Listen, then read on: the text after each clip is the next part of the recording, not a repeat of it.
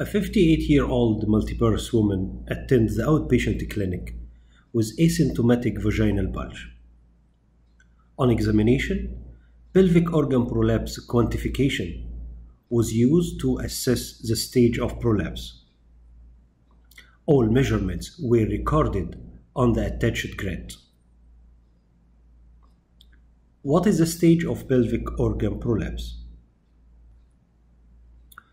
Pelvic organ prolapse quantification, known as POPQ, quantifies the stage of prolapse. It measures nine distances. All distances are measured during Valsalva, except one distance known as total vaginal length, or TVL. The reference point for all measurements is the hymenal margin. The measured distances can be recorded on a 3 by 3 grid. These three distances assess the stage of apical prolapse. Two points on the anterior vaginal wall assess the stage of anterior compartment prolapse.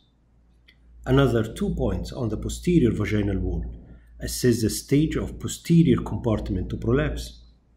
And two external measurements assess the shape of the perineum. Let us start with the apical compartment. Ask the patient to relax, reduce the prolapse, and measure the distance from the hymenal edge till the posterior fornix. This is called total vaginal length. Then ask the patient to strain. Some prolapse may happen. Now measure the distance from the hymenal edge till the tip of the cervix. This is called C and measure the distance from the hymenal edge till the posterior fornix after straining, and this is called distance D. Now we know the total vaginal length, and we can assess total vaginal length minus 2, known as TVL minus 2. With straining, the apical compartment can descend and descend more any descent in the area between TVL minus 2 and 1 cm above the hymen is considered stage 1.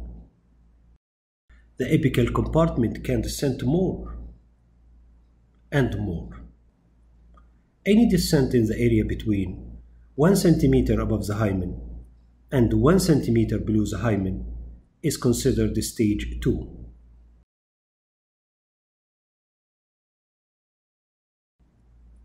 Further descent in the area between 1 cm below the hymen and TVL minus 2 is considered stage 3, and further descent beyond TVL minus 2 is considered stage 4. Now let's move to the anterior compartment. The first 3 cm on the anterior vaginal wall is assessed by point A anterior which is normally present 3 cm before the hymen, I mean minus 3. But it could be minus 2, minus 1, 0, plus 1, plus 2, or even plus 3.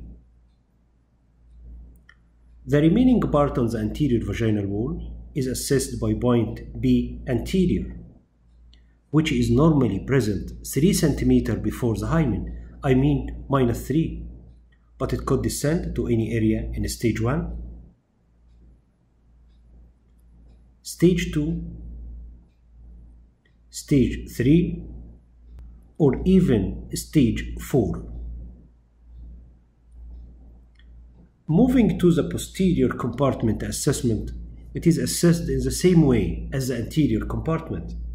I mean, the first 3 cm are assessed by point A posterior while the remaining part on the posterior vaginal wall is assessed by point B posterior. Now let's assess the stage of prolapse in our case scenario.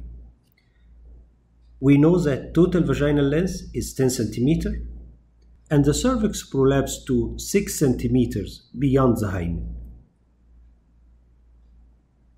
This means apical compartment prolapse is stage 3 in the anterior compartment, A anterior is plus 3 and the B anterior is plus 5. Here you can see A anterior and B anterior.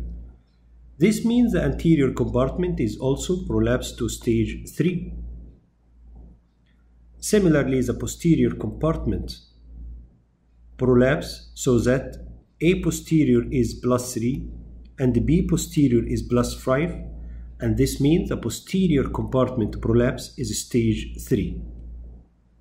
Regarding the shape of the perineum, we measure the genital hiatus, which extends between the urethral orifice and the posterior hymenal margin, and it measures 4 cm in our case scenario.